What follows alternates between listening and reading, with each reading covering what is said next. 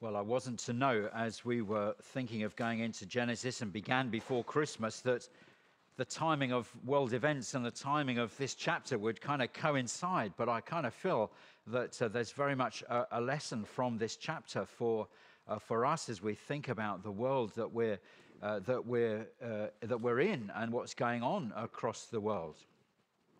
Here's a, here's a question. You know, when things get worse and worse, we might wonder when or if God will ever intervene. What happens when enough is enough? You know that phrase, enough is enough. That's enough, you know, and you want to bring an end to something. Well, uh, will God intervene? Does God intervene? What happens when, when God calls time on mankind and, and does intervene? What, what happens? What does that look like?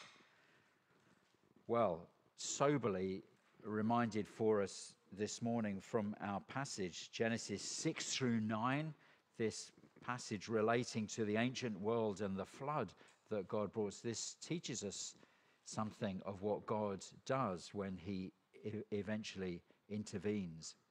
You know, I'm sure there's many wanting and praying for some divine intervention right now that would end this war, misery, and destruction in Ukraine, and, and we must pray on for that. But uh, as Tony reminded us in prayer, you know, it's not like conflict hasn't been in all of these other places, uh, both uh, aggression towards believers, but also conflicts that, that, that, the West has had its hand in. And, uh, and as that verse in the Christmas carol that we just sung reminds us, you know, with the woes of sin and strife, the world has suffered long. Beneath the angel strain of roll 2,000 years of wrong. For man at war with man hears not the love song that they bring. Oh, hush the noise, ye men of strife, and hear the angels sing. Will God ever intervene to bring man's inhumanity to man to an end? Well, Genesis 6 through 9 reminds us that there does come a time when God intervenes, when God says, enough is enough, and when he does act but it is not a pretty picture. If, uh, if you want to know the truth of this, you need to uh, travel, perhaps not so far, but to places where you can see all the strata. Uh, at the coast sometimes, you know, maybe down at Sidmouth, you can, you can see it there, you know, in that, in that uh, area down there where there's fossils found, because in the Earth's history, in the sediment under our feet, is the record of what God did to the ancient world. It's the evidence of what happens when God's patience eventually runs out. And, and it's not a pretty story. The, the story we're, we're more familiar with is the, is the kind of Sunday school story or the, or the little the story for the little ones. You know, you've been into those Christian bookshops and there's those nice little arky stories, doesn't there? You know, they, they're not got paper in because they're for the very little ones and they're made out of hard cardboard and there's about six pages on it, you know. And on the front cover, there's this little mountain and there's this cute little ark and there's a couple of giraffes poking their heads out and, you know, a, an elephant waving its trunk and there's a, there's a puffy little cloud and a rainbow in the background kind of thing. Well, let me tell you, you know, if, if, if someone was to truly put a, a, portrayal of the ancient world and then what God did to it in the flood, if they were to truly put that in a film, it, it would be ra- it would be rated age 18. You know, you wouldn't show it to, to the Sunday school because it, it really is a horrific intervention into the world of man because ultimately that's what it takes and that's what it will take in the final outcome, too. We've been uh, reading through Genesis, haven't we? In Genesis chapter 4 onwards, we've seen the scene uh, beginning to be set for, for the ancient world, haven't we? Uh, Cain has killed his brother. He's the first human born to his parents, and yet he, he grows up to kill his brother. And the, the chapter continues by showing how he fathers an offspring as, as murderous as himself, and yet worse, Lamech. And uh, whilst chapter 4 finishes with the faithful seed the replacement for Abel, Seth, who's born to Adam and Eve. And in Genesis chapter 5, we have that genealogy, don't we, of, of Seth down through Enoch, down to Noah. The reality is, we come to a time when the Bible records that the whole world was condemned except just one man and his family of eight souls. We know the story, don't we, where, where Abraham intervenes for Sodom. Oh Lord, what if you should find 50 souls there? Would you hold back? Oh, yes, I would hold back for 50 souls. Lord, permit me. What if there's 45?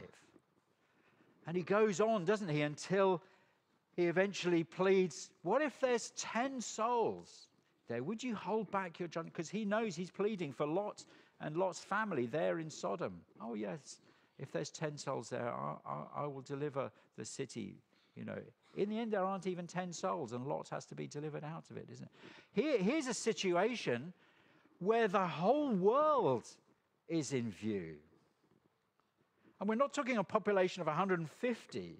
You know, we're talking of a population, we were looking at it in Sunday school, where people lived and lived and lived for 900 odd years and fathered sons and daughters, had big families. We might only have a genealogy of the one line that comes through to Noah, but the world was a very populous world very quickly. And men began to multiply across the face of the earth, is what we're told here.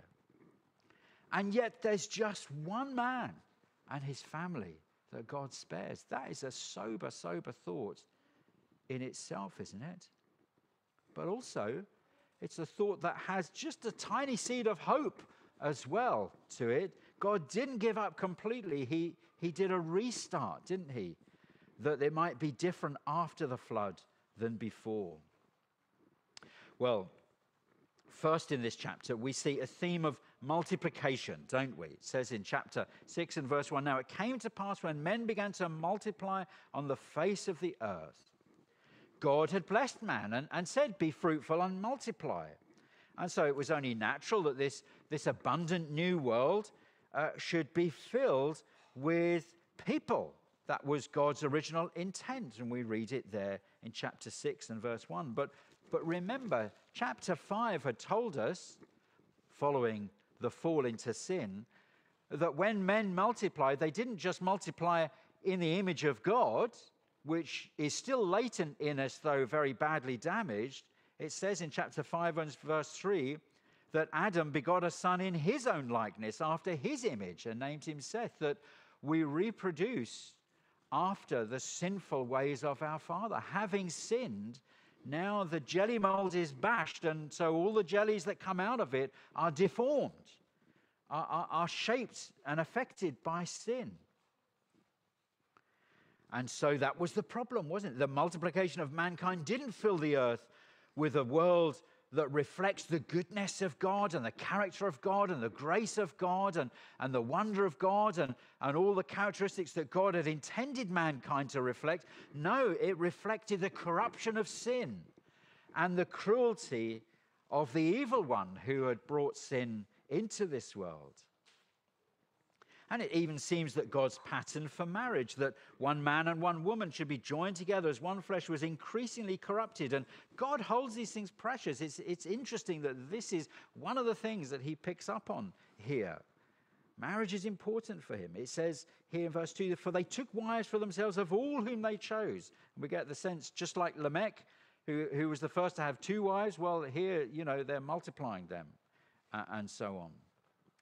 And verse 5 tells us that man's wickedness multiplied in the earth. Then the Lord saw that the wickedness of, of man was great in the earth, and that every intent of the thoughts of his heart was only evil continually.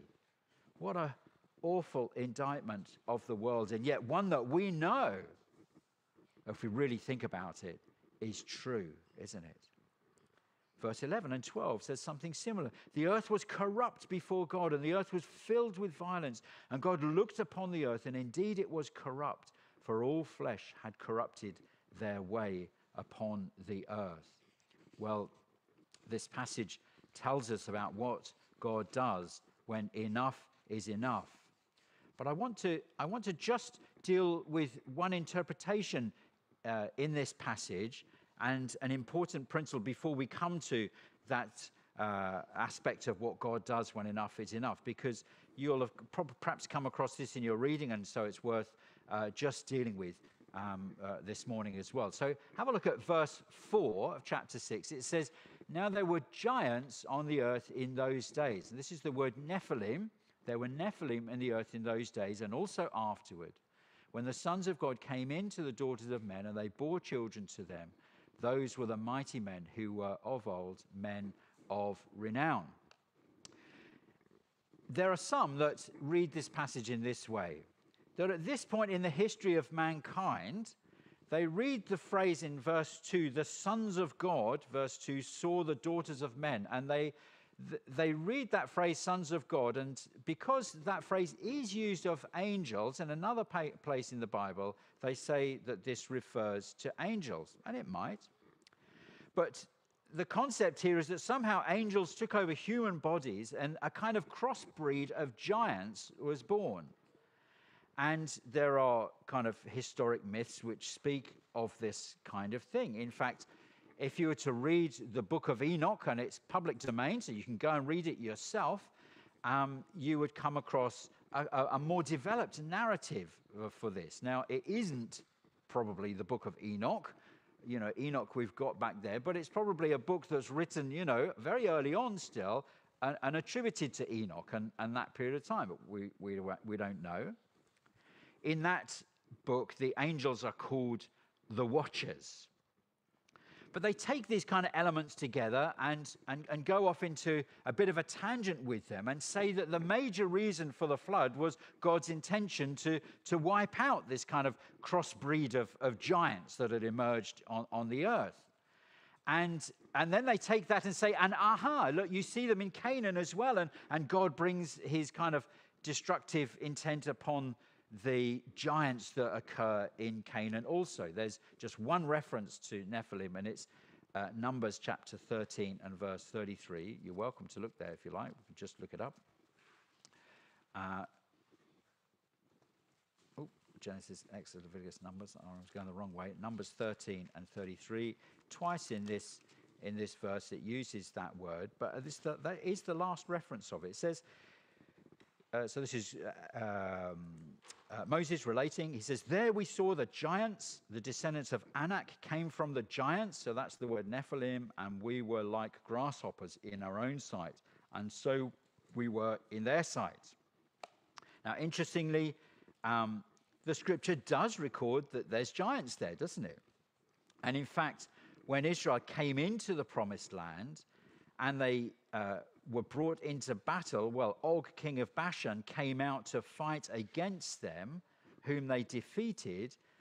Um, Moses reminds them that God defeated Og, king of Bashan, and that he was a giant. So if you were to flip over to Deuteronomy chapter 3 and verse 11, it says this For only Og, king of Bashan, remained of the remnant of the giants verse 11.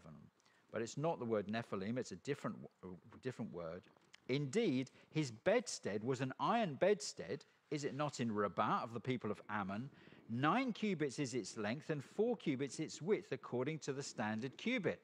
So he's reminding him of, of, the bed that Og king of Bashan lived in. Now, nine cubits is about 13 and a half feet. So if you know a six foot man, think of someone who's double that height. No, that is quite a giant, isn't it? That's quite a big person, you know.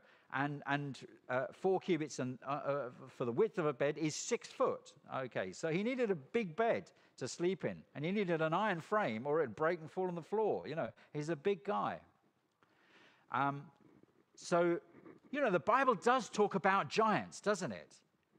But it's, it's another thing to kind of construct a whole narrative that says this is why this happened and this is why. When the Bible tells us why this happened, is that men became corrupt and were wicked, and God was calling an, an end time to it. And the same was true in Canaan.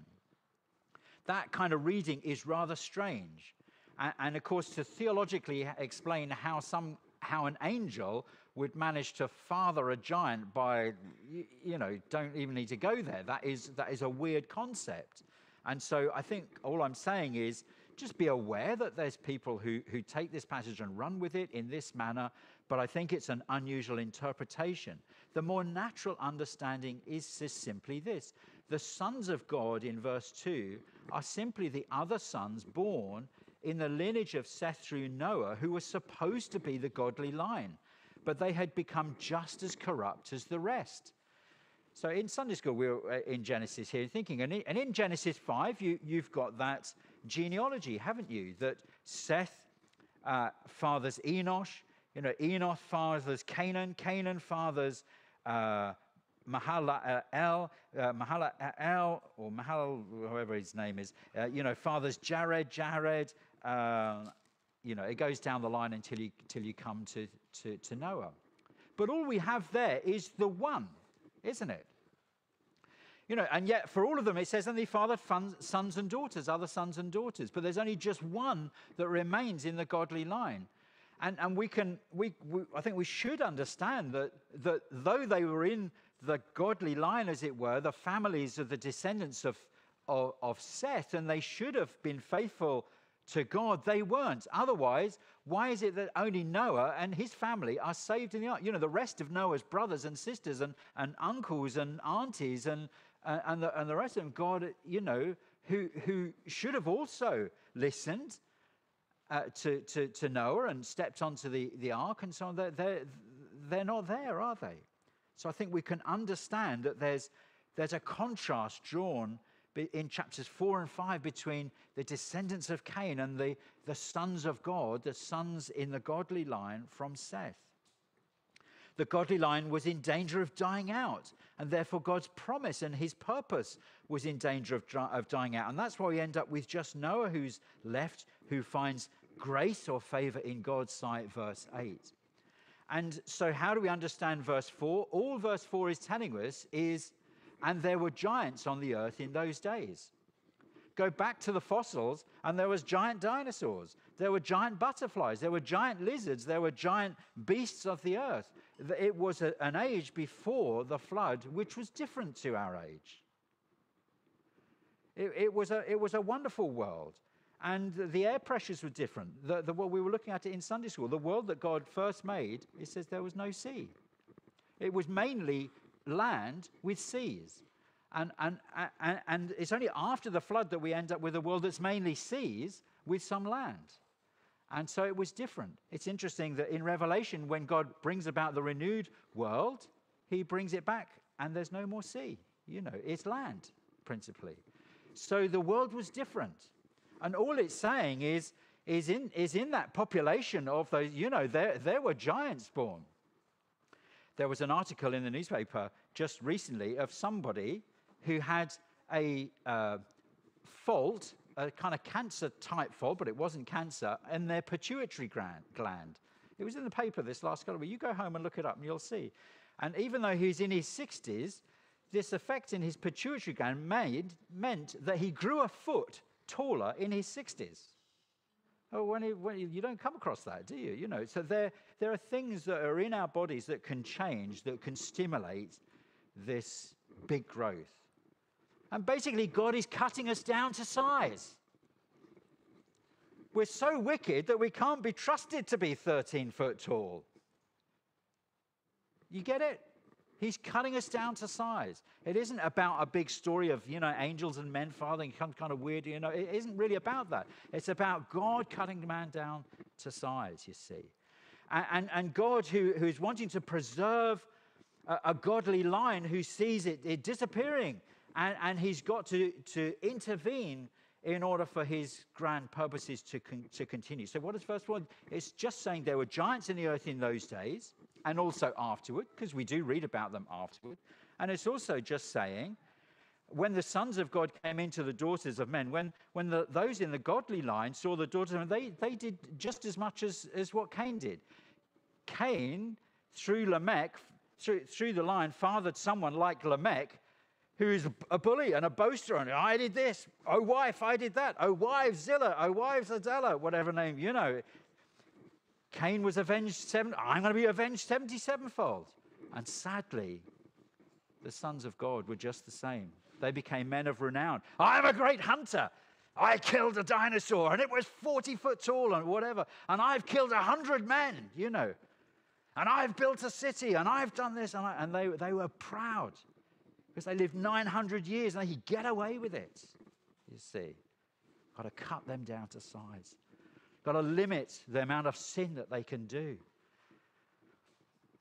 we end up in the Middle Ages where men, men, you know, you're lucky to live 50, weren't you? You know, we should be very thankful that, that we might live to 60, 70, 80, 90 in, in this age. But let it not be a, a life filled with sin and bringing rack and ruin on the earth, you know. So, so be careful about, about that kind of a weird um, interpretation. But, but behind this, then, is a, is a principle, isn't it? That he is reminding us that just like um, Cain's line went astray by intermarriage, multi wives, and all this kind of thing, God takes marriage as a precious thing because from the very beginning it was a, it was a picture. Eve taken from Adam's side, joined back, the, the two being joined will become one flesh. And this is a, a great mystery, Paul says. It speaks of Christ and the church, that there's something within marriage that points towards God and his relationship with man, and God the Father and his relationship with his Son as well, and how the Son uh, has given his life for the bride and so on. And, and this is a precious picture which he wants to retain within society and mankind. And so we see throughout the Old Testament this uh, instructions not to go and marry unbelievers. Don't, don't, when they come into the land, they're not to marry the pagans of the land because they'll get corrupted and so on. And what do we see them do? They marry the pagans of the land and they get corrupted, don't they? And, and you know, we, we, we don't live quite under that, but we still live under the same principle, don't we? Even in the New Testament, to the believers, it says, Be ye not unequally yoked. If you're a Christian, marry a Christian. Don't marry an unbeliever. It's, it's you're playing with fire. Don't even court them because it's not worth it, you see. 1 Corinthians 7:39, we are only to marry in the Lord if we're a Christian. That's speaking to those who are widows whose husbands have died. Yes, get married only in the Lord is what it says there, you see. That that's that's that's the realm of our freedom, but not to marry outside. So so marriage is an important thing, the principle of of keeping a kind of faithful line of God's people, passing on the faithful heritage and so on is really important. And, and I think we can just pick that up as a little excursus there. I didn't want to kind of come through Genesis and jump over verse 4 and you say, Pastor, I got a question. But, you know, well, let's, well, at least we've dealt with it there. Okay. So now let's turn to the main theme. What does God do when enough is enough and when mankind has gone too far? Well, firstly, from this passage, we see God limits, doesn't he? And the Lord said, My spirit shall not strive with man forever, for he is indeed flesh, yet his days shall be 120 years. When God sees wrong and evil being perpetrated, he does act to limit, thankfully.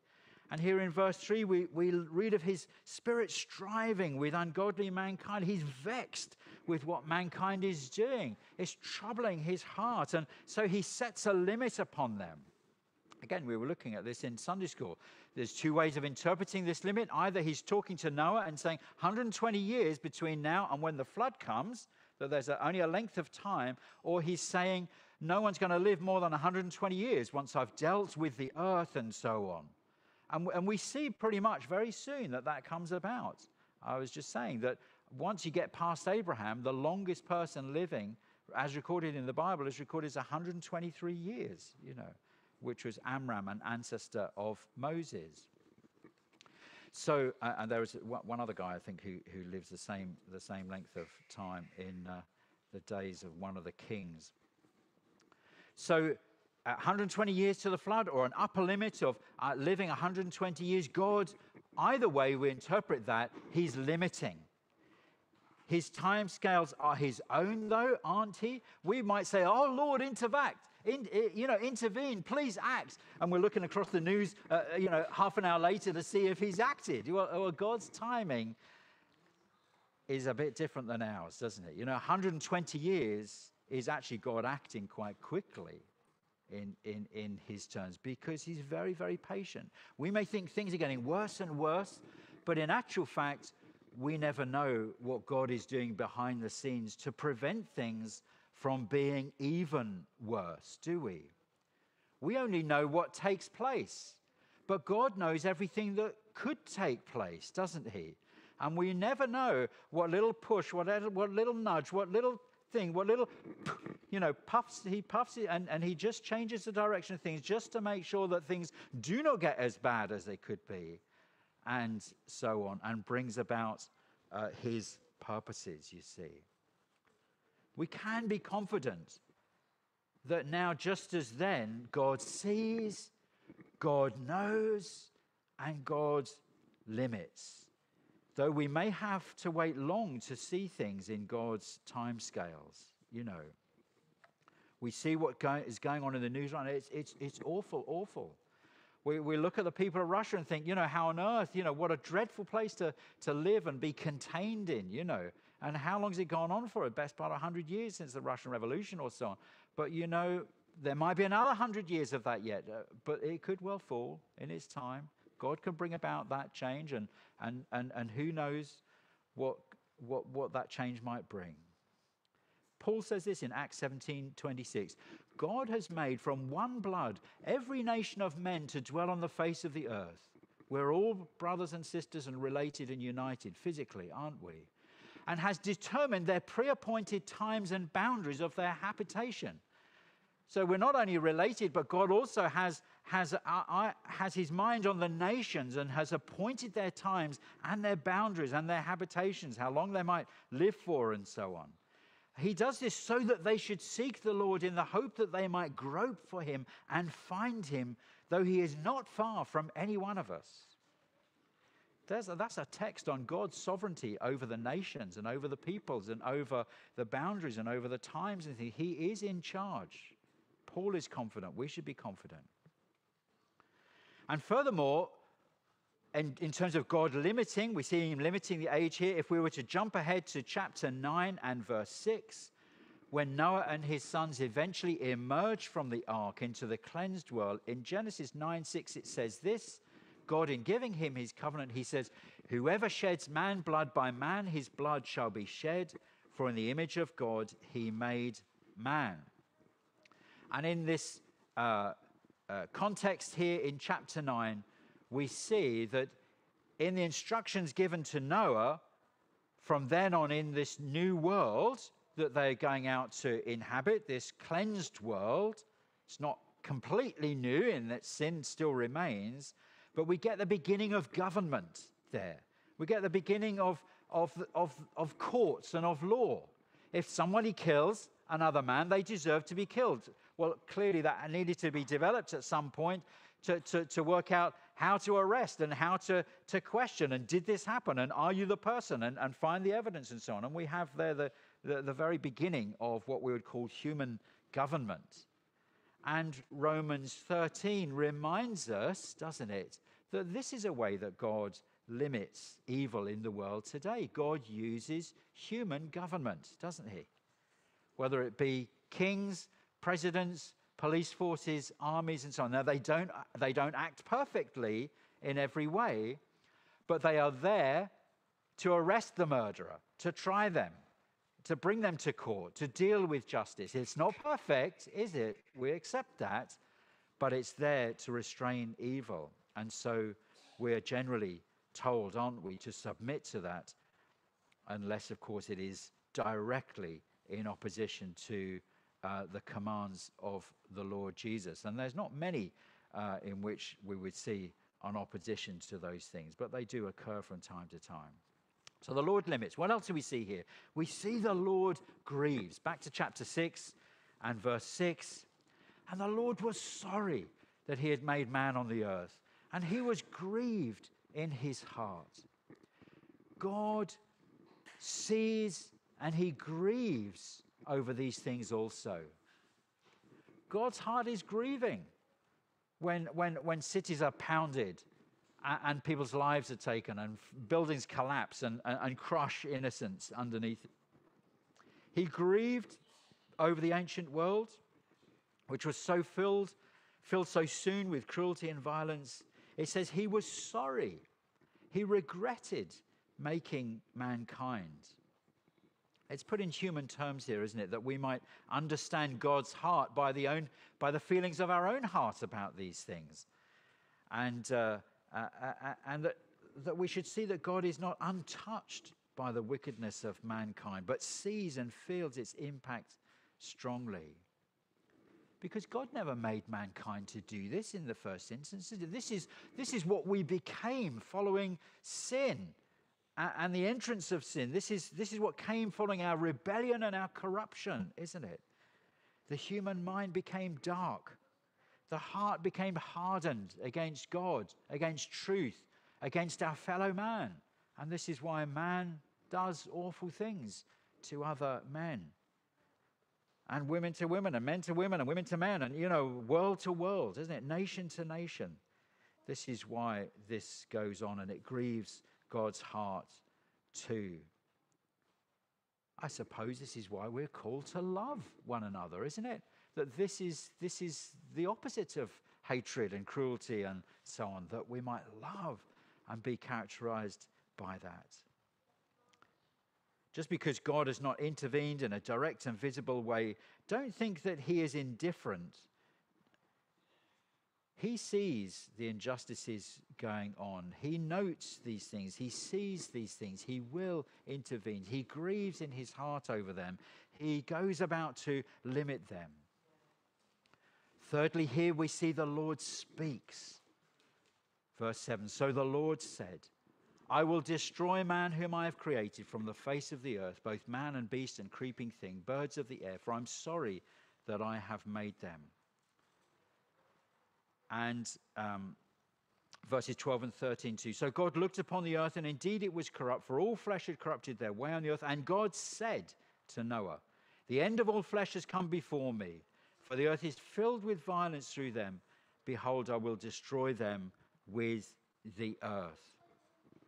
It's noticeable in this whole passage, whilst we think of it as the passage about Noah, and it is, we learn of him and of what he must do, he's not, in fact, the primary actor in this chapter at all. It is God who speaks, verse 3. It's God who sees, verse 5. It's God who grieves and is sorry, verses 6 and 7. And it's ultimately God who speaks to pronounce condemnation on the world in verse 7 and in verse 13. Noah says nothing. He just, go, he just does what he's instructed. But he doesn't say anything. Why? Because it is God alone. It is the creator and maker of the ends of the earth. He alone has the right to call time. He, he alone has the right to say, enough is enough. He alone, who made it, has the right to destroy it. We, we don't. He does. And it is He alone who will come up with the remedy for this broken world as well. He pronounced doom, doesn't he, here upon the ancient world? He's also pronounced it on our world too, hasn't he? You just look up the references to the day of the Lord.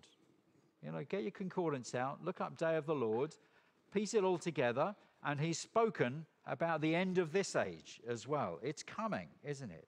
But just as we see here, and just as we see in Amos, because Amos is also about the day of the Lord, but an earlier kind of day, you see these things lead up to the big crisis day of the Lord. Just as we see in Amos, God speaks before he acts. God warns, doesn't he? Just like you do as a parent, Reuben. Don't touch the oven, it's hot, you're going to get your fingers burned. And he tells you, and she tells you, you know, are you listening, Reuben? You see, you have to listen so you don't touch and get your fingers burned. You see, there's a warning there. If you do that, I'm going to take away this toy. And they do it. If you do that again, I will take away this toy. Believe me. And they do it. And so you take away the toy, don't you? And, and it, it's similar, isn't it, with God? He, he doesn't want to catch us out. He wants good behavior, doesn't he? But he knows mankind's nature and so he knows there's really only one crisis that must come as a judgment upon it. But he warns and he warns and he warns. In Amos, the Lord roars from Zion, is how it begins, isn't it?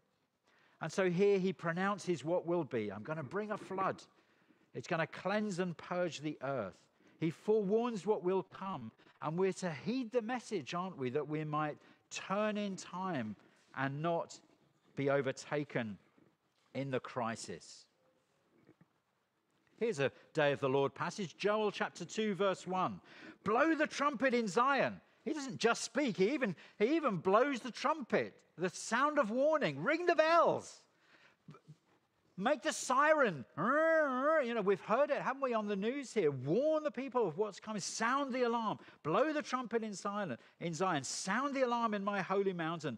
Let all the inhabitants of the land tremble, for the day of the Lord is coming. It is at hand.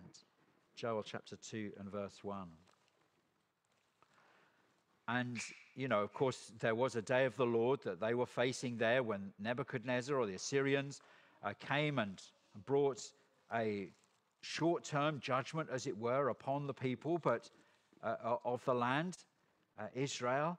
But we're reminded, aren't we, in 1 Thessalonians chapter 5, becoming the times and seasons, brethren, you have no need I should write to you, for you yourselves know perfectly that the day of the Lord so comes as a thief in the night.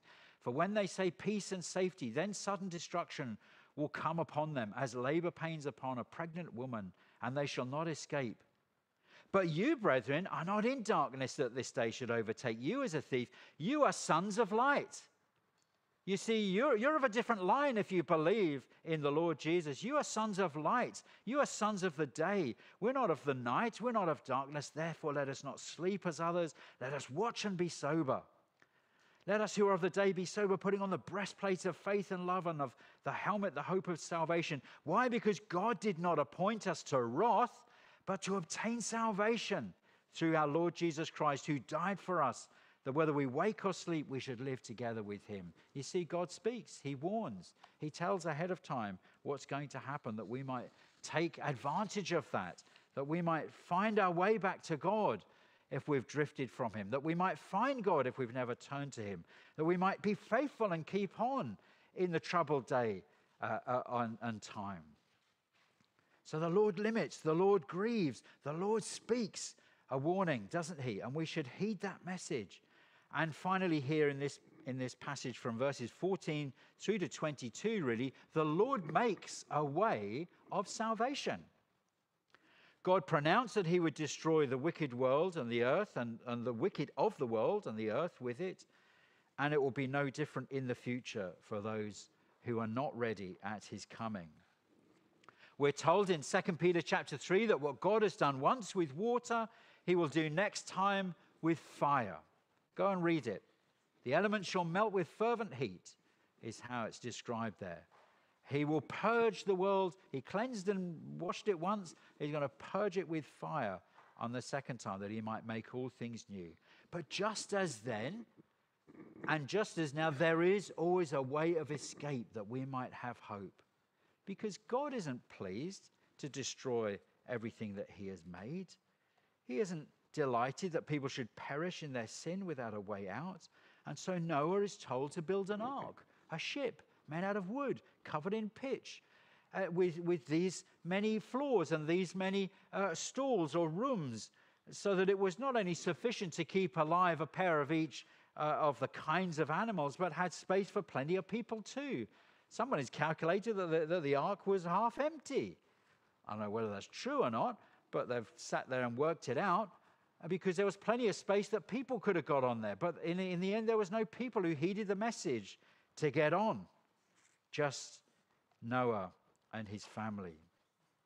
And we see in this provision of a way of salvation just some patterns that are repeated in other places. Firstly, that God chooses a man. Noah found grace in the eyes of God or in God's sight. God chose him to be the one through whom his plans of salvation would prevail. Here, in this generation before the flood, if there was anyone that they needed to look to, it was Noah. It was Noah that they needed to listen to. It was Noah that they needed to follow, wasn't it? He was God's man on the ground right at that time. If they, if they wanted to be saved from the flood, they needed to heed what Noah was saying and get on that boat with him when God said it's time to enter the ark.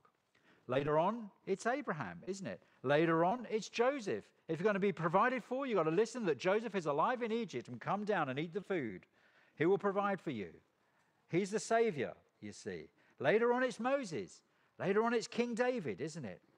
Each in their turn pointing towards the ultimate one, after whom there would be no need for another, because there is one name given among men under heaven by which you must be saved. And it's the name of the Lord Jesus Christ, isn't it? Now that, now that the seed has, now that the plan has come all the way to the point where the promised seed has been born, the Lord Jesus Christ, well, we don't need to look past him. He's the one, you see, to whom they all pointed. He is the way to God for all nations, for all time, through him.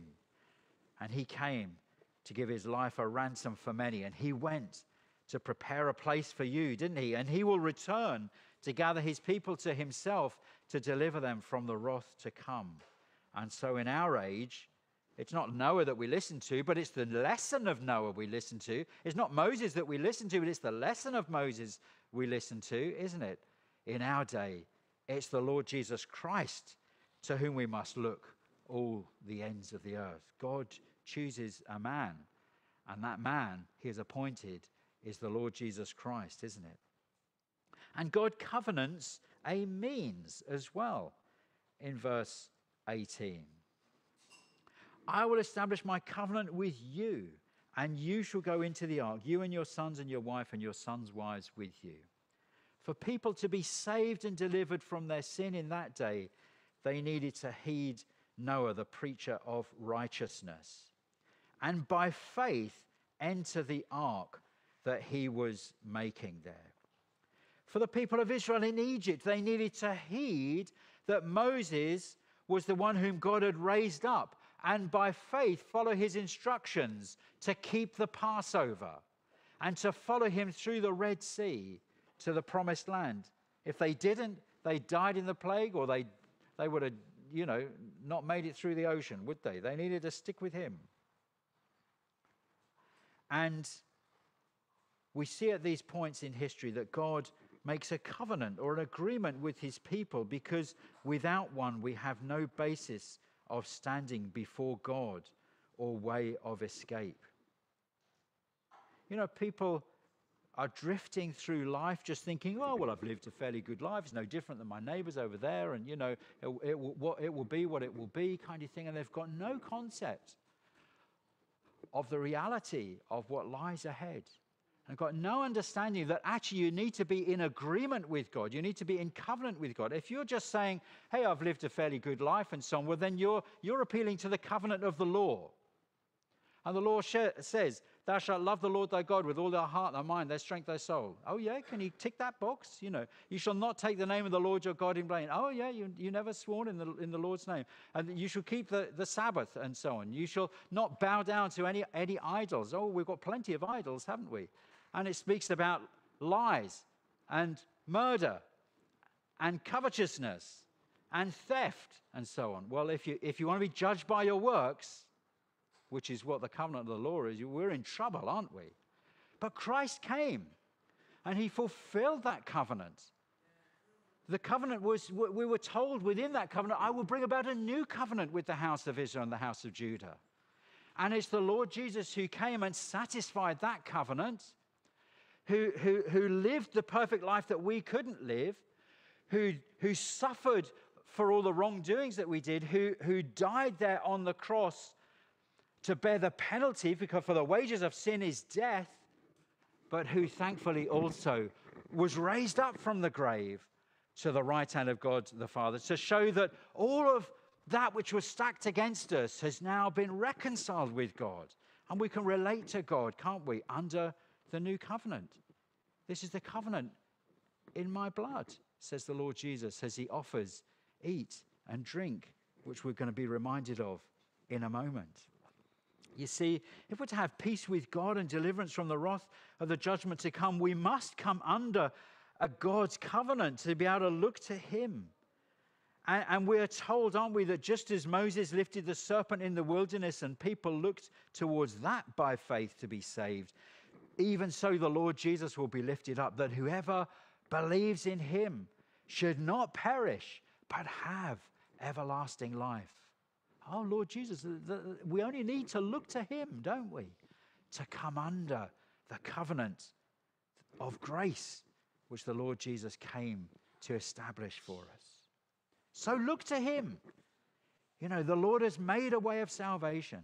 Will he intervene in the world? Will he? Li- yes, he limits. Yes, he grieves. Yes, he has spoken about what he's going to do. But between now and then, we've got to be very careful about saying, Hurry, Lord, hurry, Lord, because in, in the hurry, Lord, so many people are going to still be lost. No, in a way, we should be saying, Thank you, Lord, for your patience, because there might still be another murderer today who finds forgiveness tomorrow through the grace of the Lord Jesus Christ. It's possible, you see. Right now, what's more important is not justice upon all the wickedness going on in the world. That will come.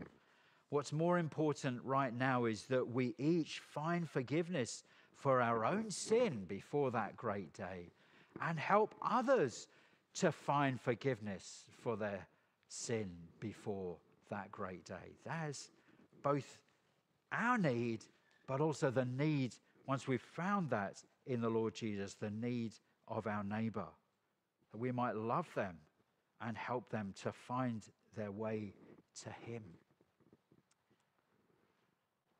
Well, let's close in prayer this morning as we think about these things. Loving and gracious Heavenly Father, we thank you, Heavenly Father, that your heart is touched by the awful things going on in the world. Lord, you're able to raise up and to bring down. You are able to exalt and humble. And for whatever reason, you've permitted a, a very powerful man. And, and across the world, across history, powerful men have come to powerful, prominent places and done we, wicked and evil th- things. But in reality, they're no different to, to any one of us, really. Loving Father, we thank you that there is great mercy with you. You are able to bring these things to an end. You will act at a time that you have chosen, you have determined to bring about that final culmination of all things. You have promised, I will destroy those who destroy the earth. But, loving Father, we know that you are not willing that any should perish, but that all should come to repentance. And so you are long patient with us that many might find their way to the Lord Jesus. Help us, Lord, to realize our need before that terrible day ahead. That we might know that we're forgiven, and therefore that day ahead is no longer terrible, filled with foreboding, but is filled with the glorious hope and expectation of the Lord's return to deliver us from the wrath to come. We pray, Father, for our family members, our neighbors, our, those that we know, those that we would love to see come to know you. Lord, give us boldness to share with them the good news of the Lord Jesus Christ, that we might come to him, that they might come to him uh, through our testimony and our walk, through our words, uh, through your word, which speaks of what is to come, Lord, and of what they must do to be saved. Oh Lord, be with us. Fill us with your spirit, Lord, to your good intent.